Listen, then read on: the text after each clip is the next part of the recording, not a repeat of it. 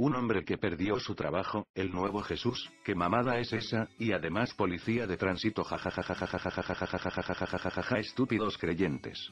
Al avanzar el reino tecnológico y no espiritual el hombre avanza a su destrucción, pues en la Edad Media casi todo mundo creía en espíritus y demás chingaderas, no creo que hubiera más paz en esos días, además ya tenemos vacunas incluso algunas para prevenir la homoreligiosensis, enfermedad de la mente la cual evita utilizar el razonamiento a favor de la credulidad por más absurda que sea, el nuevo Jesús nos invita a construir algo para salvar a la humanidad. Yo propongo más escuelas laicas, bibliotecas, y la divulgación de los derechos humanos.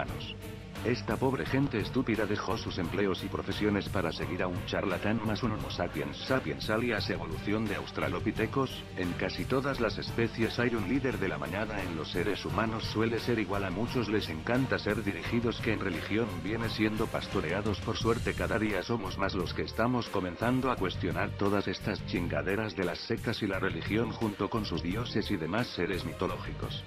Bueno por lo menos esa gente cuida el medio ambiente así que tienen un punto a favor que sobre otras sectas como los testículos de Jehová a los cuales les vale madre dejar morir y incluso a sus hijos y todo por unas pinches escrituras de una cultura de la edad de bronce y además mal interpretadas como lo dicen otras sectas cristianas, ajá cada una de ellas tiene la verdad absoluta, junto con otro grupo de maniáticos que viven por los desiertos de otro continente. Bueno ahora les hablaré del ojete que mencioné hace rato y quién es este tipo. Se llama José Luis de Jesús Miranda otro tipejo que se hace llamar la reencarnación de Jesús, y ustedes que dicen ya sé, no, no puede haber gente tan estúpida tan pendeja como para que acepten que ese güey es el hijo del Dios de la Biblia o sea el hijo de Jehová el Dios de la nación de Israel un Dios más entre todos los demás duendes, dioses y hadas inventados por el hombre. Pues así es aunque usted ponga esta cara de güey, hay mucha gente estúpida que si creen que este gordito es Jesús Christ por no decir que tiene aproximadamente como 100.000 fieles, si no es que más.